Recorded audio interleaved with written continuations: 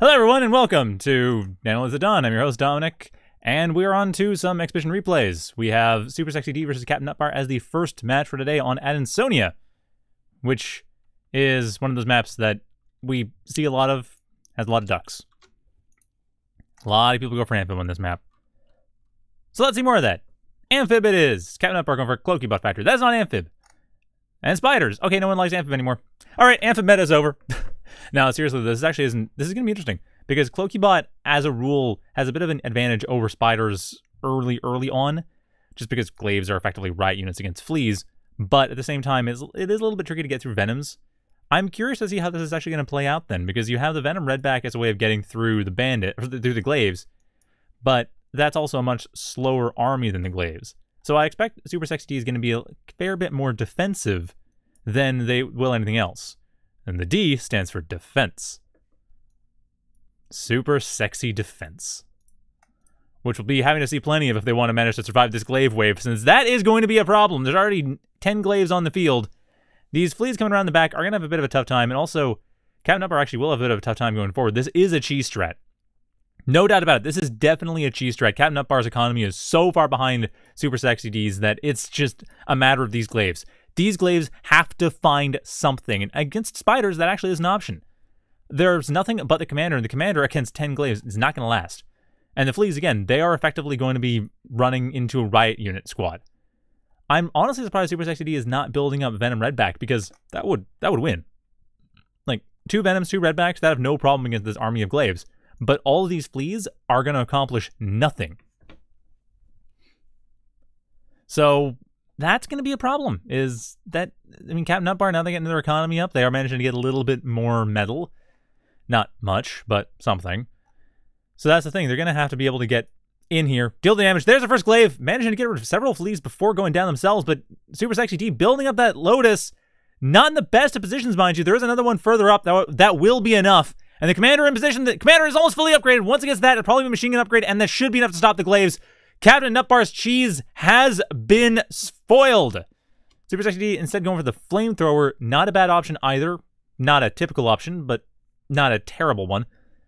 But yeah, that is that is Captain Nutbar's cheese. They still managed to expand behind that, so they're not completely out of the.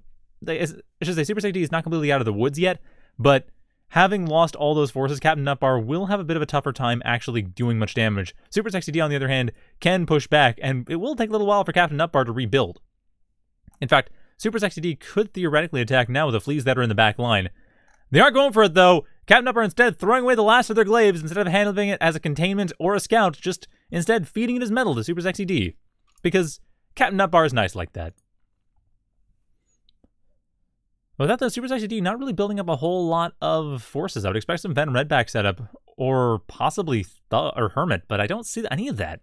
Which is rather surprising. You'd expect Super Sexy D would actually want to go for a counterattack, or at the very least, make sure that they're not going to be hit by another attack if Captain Nutbar would expand behind what they had attacked with, and then use that to build up an actual meaningfully useful economy, and then from there actually build up another army and attack again.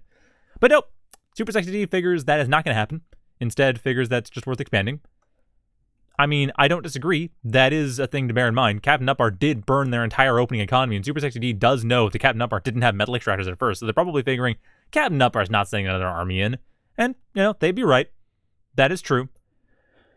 I mean, it could have gone another way, but yes, that is right. There is no other army coming in right now. I'm just kind of surprised that Super Sexy D is not preparing for later fights, like just getting up units that are more useful militarily for the Spiderbot factory, not just building fleas all everywhere. I'm surprised, not disappointed though. I'm actually rather intrigued. This is this seems to be working out reasonably well for them. I mean, as much as it is a little bit odd and a little bit unusual to just go mass flea as spider, it doesn't seem to be doing them much harm. In fact, now that they have this giant scouting line, they've got full knowledge of what's going on here. They've actually, like, and nothing can come across the map that Captain Nutbar can actually sneak by. Like, there's nowhere they can sneak by. Super Sexy has full knowledge of basically every single piece of terrain in between them and Captain Nutbar. Like there's nothing that Captain Nutbar can do other than attack the fleas. And that's fine, because the Spiderbot factory is all about scouting. It's all about knowing exactly what your opponent's up to. And if you lose some fleas in the process, that's fine. You just know that that's where your opponent has recently been. And if you're playing close enough attention, then it's not even a big deal. And especially with all these fleas now attacking everywhere, Super Sexy D is really making this mass flea work.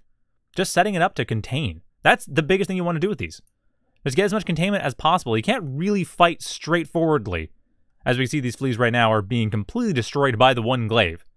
But you can at least use it to pressure against workers and harass a little bit. You can't, again, this set of fleas is gonna face massive losses. They might be able to attack in and deal some damage. I'm not sure. I'm not confident.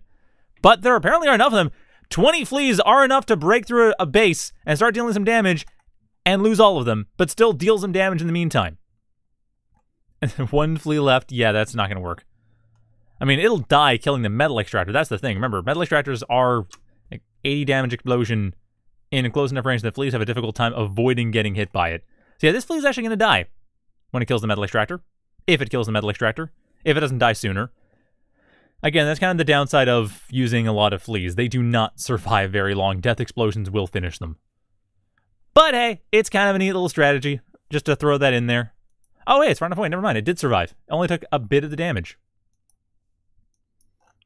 But the point is, though, that Captain Nutbar is way behind economically, and Super Sexy D can win with Mass Flea, because why the heck not? I don't know what's here. Oh, yeah, actually, people wondering about Captain Nutbar's Red Star. I have no idea. I mean, considering the way that the game is going right now, I think the game is kind of answering the question of why do they have a red star. I feel like it'd be mean to elaborate too much, but it's like, yeah, the, the mass fleas coming in here and it's causing problems, and they went for a massive cheese strat at the start. Like, that doesn't seem like I can kind of see maybe they are just playing a lot of co-op and chickens. I'm not sure. They've been playing for a long time. I'm very familiar with the name. I just haven't seen them play much recently, especially 1v1s. And it's a different skill set to play teams as 1v1s. So I wouldn't be surprised if they're a big teams. I think they are a big teams player actually, and I wouldn't be surprised if they went for air or went for like cheesy strats or whatever, just to try to win that way. Because that often happens in big team games. You have one or two players that are just going for really silly strats, and then build up from there. That doesn't translate to one v one at all. As you can see, Captain Nutbar is winning with fleas.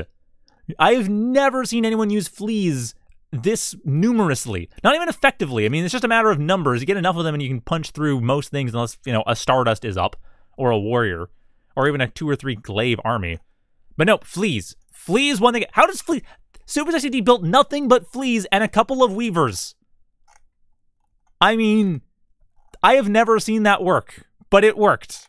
So, good thinking Super Sexy D, you did not build any more than you had to in order to win